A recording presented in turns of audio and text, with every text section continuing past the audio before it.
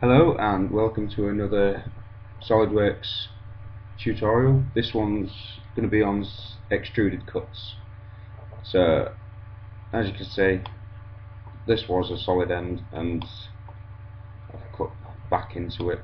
That's what it looked like before and that's what I'm going to show you how to do, how to put this in here. So I'll come to this end and what I'm going to do is move this because it's right in the way. Put it there. Seems a convenient spot. Right I'm going to be I'll click on this because I like this one. Click on there. This is asking for uh, a face or a plane. So just click on the face that you want to sketch on. This is the one. So I want to go to line. So I want to start by uh, I'll, I'll start by clicking on here click it, click it, don't matter where you chuck these, it can be anywhere. See, I, have I've done that as a sketch, it literally is a sketch. So, if possible,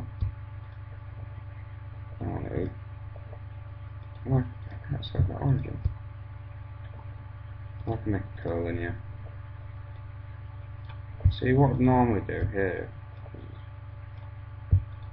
select that origin, but for some reason it didn't that. I wonder if that's something to do with it.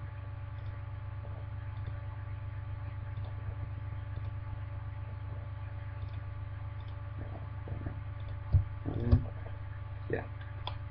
So I've selected the origin the other end, but that'll do good stuff, midpoint. So now this is equal. So click on this line hold control, click on this line, to make them both vertical, parallel and equal, click tick. I always start by doing this because it defines what you're going to do before you add the dimensions. So like this line, click this line, control, click this line, and parallel.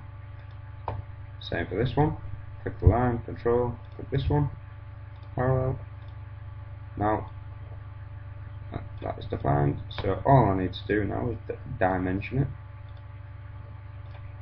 So 300. Let's say, and from here to here, I want it to be the same. Great. So I've got a sketch. So now what I need to do, go to features, go to extruded cut.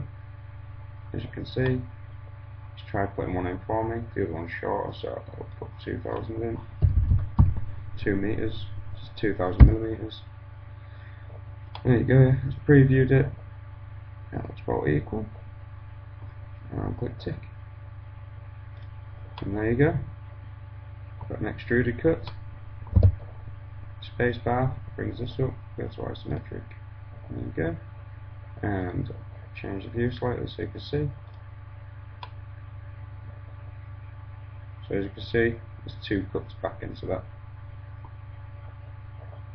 Change the view back, and you can do a slice through this model, so you can see exactly what you've done. I hope you uh, found something useful from this video. Uh, if you've got any more questions or if you want me to do any more videos, uh, leave your suggestions in the comments box uh, I'll do another tutorial soon. Thanks for watching.